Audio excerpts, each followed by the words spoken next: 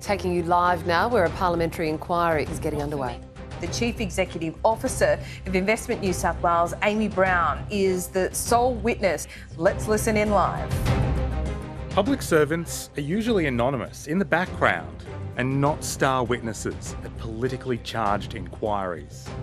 I swear that the evidence now about to be given by me should be the truth.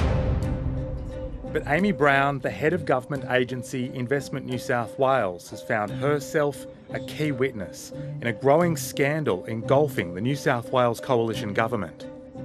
Minister Barilaro uh, intervenes to get the process changed, and then he walks out with the job. Can you give us the reasons as to why we should not consider that to be a highly suspicious chain of events? Amy Brown signed off on John Barilaro's half a million dollar job in New York, only months after the former Deputy Premier resigned from Parliament. We know we can grow our market share abroad. In 2019, John Barilaro announced the creation of six new trade envoys across the world, including the one he's now secured in New York City. How this eventuated is now coming in for forensic scrutiny. Last July, four candidates were interviewed as part of an initial recruitment process already underway. Jenny West, a former manager at Westpac and Telstra, and the Deputy Secretary at Investment New South Wales, was informally offered the role. Did you ever contact her to congratulate her for getting the role?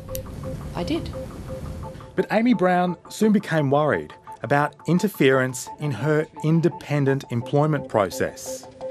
I was concerned that the Deputy Premier's office would feel they had veto rights. In early September, one of John Barilaro's personal staff inquired about whether the appointment process could be changed. Did he in any way convey that this was a request from the Deputy Premier himself? Um, yes. Amy Brown told today's inquiry that John Barilaro successfully lobbied Cabinet to change the roles to ministerial appointments.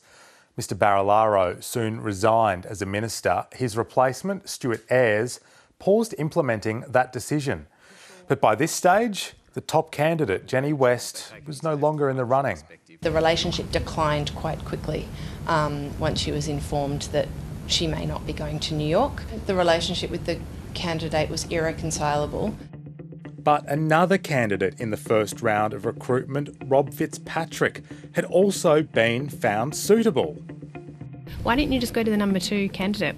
Given months had passed, I, my preference as hiring manager was to relaunch the process and see who applied. The job was re advertised and John Barilaro applied. But after interviews, he was only ranked second amongst the candidates, today's hearing heard. Until after a meeting between the top ranked contender and the minister overseeing the portfolio, Stuart Ayres.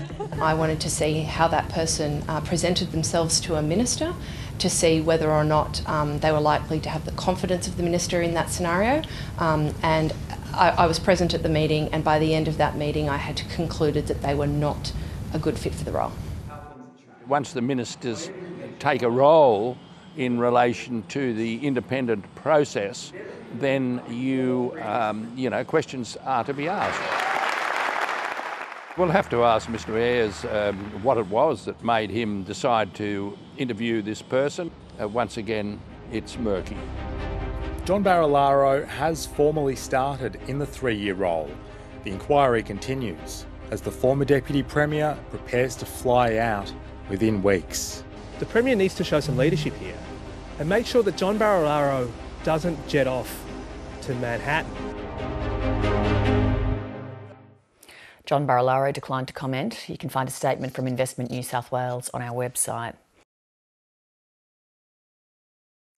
Hi, I'm Leigh Sales. Thanks for watching this story. If you'd like to watch more of 730's stories, they are on the left of your screen. And tap on the button below to subscribe and get the latest from ABC News.